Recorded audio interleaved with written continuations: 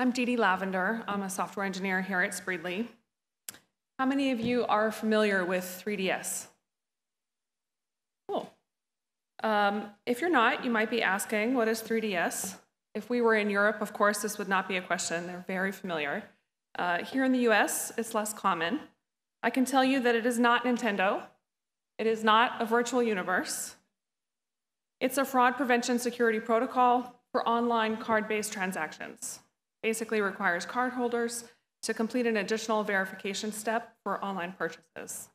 Daniel, our product VP, called it uh, the dinosaur version of two-factor authentication for e-commerce. I thought that was a more accurate definition. So 3DS stands for three domain secure. The merchant domain represents the merchant from which a purchase is being made, as well as their bank. The issuer domain covers the bank that issued the card used for the transaction. And the network or interoperability domain represents the payment infrastructure, usually managed by MasterCard, Visa, etc.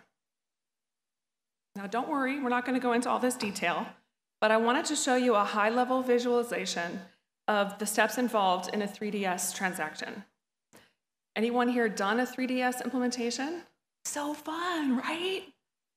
Uh, 3DS was introduced in the early 2000s when online purchases started really being a thing. And there are some pros. In some cases, it might help reduce fraud. Early on, whoops, early on it helped create customer confidence. There's some liability shift from the merchant to the card issuer. Now, if you heard all the qualifiers I used so far and predicted a list of cons, you would be right. There are several. That liability shift is not guaranteed. Of course, there are exceptions, limitations, specific conditions, et cetera, et cetera. That customer experience, that extra step that used to create confidence now adds friction sometimes confusion, and results in a high number of abandoned and failed transactions. Online fraud um, has grown more sophisticated with time, but 3DS, 3DS is essentially the same, and there are more issues. This is so problematic. Who only uses web browsers? Also, the primary means of data collection via iframes introduces several big security issues. Easy passwords are easily guessed. Difficult passwords are easily forgotten. Data points such as birth dates are easily obtained, etc.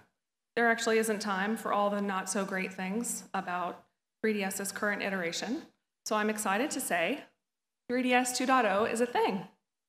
Online transactions have changed a lot since the early 2000s. The payment industry recognized the need to create new specifications that better reflect the support, reflect and support the modern demands of e-commerce. Kind of cool, right? All that data changes the game.